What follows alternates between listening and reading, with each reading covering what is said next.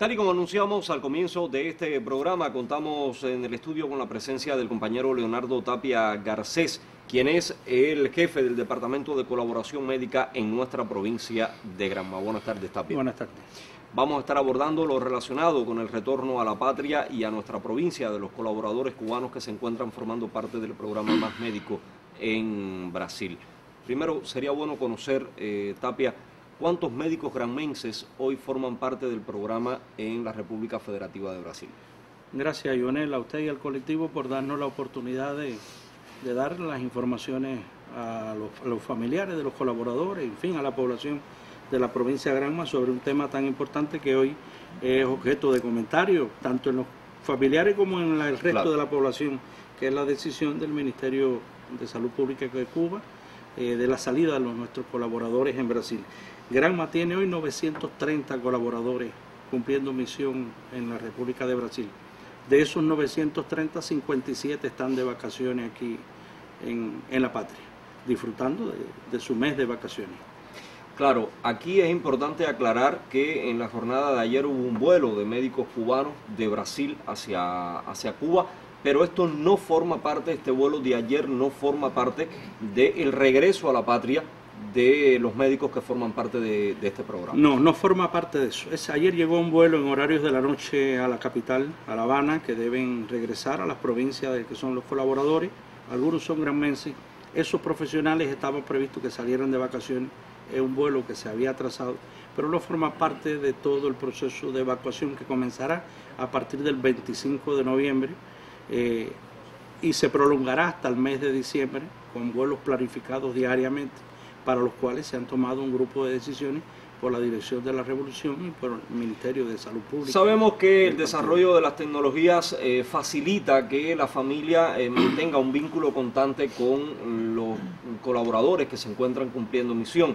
Claro está, no todos los colaboradores son de Bayamo, de Manzanillo, de la cabecera de Jiguaní o de la cabecera de, Niquero, por mencionar algunos municipios. Sabemos que hay colaboradores que pertenecen a zonas donde eh, no hay cerca una zona wifi, donde la comunicación es a través de un correo y no se hace tan viable, digamos, como en las cabeceras de los municipios. Atención porque eh, el compañero Tapia estará dando a conocer de inmediato eh, cómo se ha programado, cómo se ha organizado, cómo se está diseñando el programa del retorno a la patria de estos más de 900 médicos granmenses que se encuentran formando parte del programa Más Médicos en Brasil y que comenzará su retorno a la patria a partir del próximo 25 de este mes de noviembre. ¿Cómo está diseñado este cronograma? Bueno, anoche eh, se efectuó una reunión presidida por el primer secretario del Comité Provincial del Partido, compañero Federico Hernández Hernández la máxima dirección del gobierno de la provincia, con las autoridades de cada uno de los municipios donde estaban las direcciones de salud pública. Y se decidió que a la familia de los 930 colaboradores había que llegar en el día de hoy. Para eso se constituyeron más de 250 dúos formados por especialistas de salud pública, eh, cuadros de la federación, de los CDR, de la CTC, de los sindicatos, cuadros del partido, de la UJC, que conformados en dúo durante todo el día de hoy le llegarán al 100% de la familia, teniendo como base para la conversación la declaración del Ministerio de Salud y transmitirán a la familia la confianza de que ese proceso está organizado, que ese proceso está asegurado, que se hay todas las garantías para el regreso de los colaboradores a la patria y que todos tendrán la seguridad de su, de su incorporación al trabajo, de su salario, de su desempeño como profesionales nuestros que han cumplido la misión. Aún aquellos que llevan menos tiempo vendrán con su misión cumplida. Habrá un reconocimiento para todos. Esos dúos también transmitirán a la familia la necesidad de comunicarse con el colaborador y de transmitirle también confianza, que no se desesperen, que hay garantías para todo, que su proceso de regreso está organizado, porque siempre eh, viene el desespero, la preocupación, que cómo va a hacer esto, cómo va a hacer el resto del proceso. Todo está bien organizado y hoy, en horarios de la noche, 7 de la noche, el primer secretario del partido hará una evaluación sobre el cumplimiento de esta indicación y de un grupo de indicación que anoche se, se discutieron. Los colaboradores granmenses van a ser recibidos en la provincia y en cada uno de sus municipios, también en las comunidades donde ellos viven. Correcto, así será. Todos llegarán hasta la rotonda, lugar tradicional para la salida y regreso de los colaboradores. Ahí en el horario de la noche, la madrugada o del día que lleguen, se estarán esperando, serán recibidos. Se garantiza la transportación hasta los municipios. En el municipio de igual manera se recibirán por el cumplimiento de su misión y esas actividades llegarán hasta la comunidad y su centro de trabajo.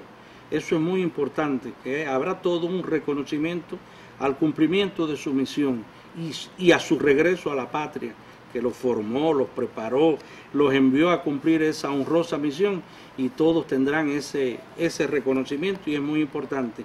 Y aprovecho para decir que también en los centros de trabajo, hoy en todos los centros de trabajo se le estará leyendo a los trabajadores del sector de la salud la declaración del Ministerio de Salud Pública y la explicación y argumentación del porqué de esa decisión. Tapia, hay una preocupación en los colaboradores en los familiares y también en la población en sentido general a partir de ese principio de la solidaridad en el cual hemos sido inculcados los cubanos en, nuestra patria. Y es la preocupación con aquellos colaboradores que están en este momento de vacaciones en Cuba, qué va a pasar con ellos. Eh, estas personas eh, tienen pertenencias, recursos, eh, mm, digamos, no vinieron a Cuba preparados para su retorno definitivo. ¿Y, qué va a pasar con, estos colaboradores que están de vacaciones en Cuba? Correcto. En, aquí en Granma tenemos hoy 57 colaboradores de la misión Más Médicos que están vacacionando. Con esos colaboradores próximamente, en las próximas horas, los directores municipales de salud y su equipo de dirección sostendrán con ellos una reunión. Y se le va a transmitir que estaremos atentos de próximas decisiones que va a tomar el Ministerio de Salud al respecto. Así se indicó ayer por el vicepresidente del Consejo de Estado y Consejo de Ministros, el compañero Morales, a todos los directores municipales y las autoridades. Se tomarán decisiones, se están evaluando, se le va a comunicar en función de eh, garantía. Y cuando esa comunicación llegue, los directores municipales los van a llamar y van a reunirse para darle la información. Hasta ahora, como uno dice, tranquilidad espiritual, que la, revolución no deja a nadie abandonado por compleja que sean las circunstancias y nosotros sabemos que dejaron pertenencia y dejaron cuentas bancarias de los ahorros de su dinero, otros valijas que están en proceso de embarcar, todas esas evaluaciones las está haciendo en los momentos actuales. ¿alguna otra información de carácter general acerca del retorno a la patria de los más de 900 médicos gramenses que forman parte del programa Más Médicos en Brasil? Sí, eh, lo primero es que cuando lleguen tendrán su mes de vacaciones como corresponde a todos y cuando estén aquí después de su mes de vacaciones se presentarán en su centro de trabajo y se les va a explicar las misiones internas que vamos a cumplir en cada uno de los municipios. Hay que decir que hay una cifra importante que estaban esperando su salida que ya fue aplazada y tenemos en la provincia más de 400 con toda la documentación hecha prestos a salir a cumplir misión. Cuba, como siempre, da la garantía de que cuando cumplimos o establecemos un compromiso, lo establecemos con toda la moral y la seriedad que eso lleva y las garantías de la, de la continuidad. Quiere decir que esa es una misión para la cual teníamos profesionales preparados y también están en su desempeño normal, en su centro de trabajo. Es decir, eh, lo más importante es la seguridad de nuestros profesionales de regresar. Y aprovecho a decir, algunos de ellos nosotros sabemos que han contraído matrimonio en Brasil, y están allá trabajando en la misión más médica. Y a todos se le da la posibilidad de regresar, de regresar y a todos se le da la posibilidad de que cuando hagan sus trámites puedan regresar a cumplir sus contratos independientes. Pero lo más importante es el regreso a la patria en un momento donde se enarbolan las banderas de la dignidad y del prestigio alcanzado por la revolución en la colaboración médica internacional.